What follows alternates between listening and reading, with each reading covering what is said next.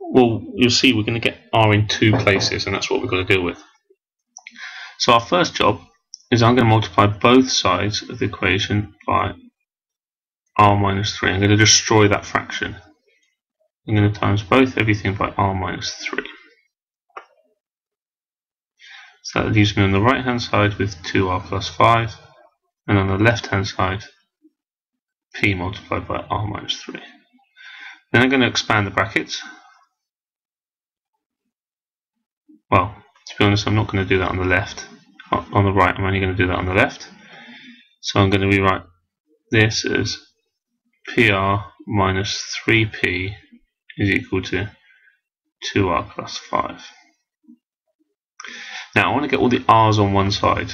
So I'm going to take away 2R from both sides. But at the same time I'm going to add 3P to move this P over there. So I'm going to add 3P as well. So that leaves me with PR minus 2R and then I'm going to have 3P plus 5 on that side. If you're not sure what I've done, take a little step. I've done two steps in one. Taken away 2R from both sides, but I've also added 3P to both sides. Now what I'm going to do is I'm going to factorize.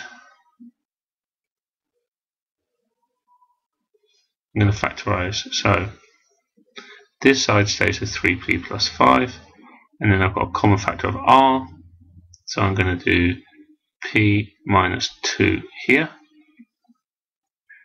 And then I'm almost I'm at the home straight now. I'm going to divide both sides by p minus 2. Now you don't have to write down what I've done in red, I've just put it in there to help you out. That is in with r now. The numerator makes 3p plus 5, and on the bottom I've got p minus 2. So r is equal to 3p plus 5 divided by p minus 2. And I'm done.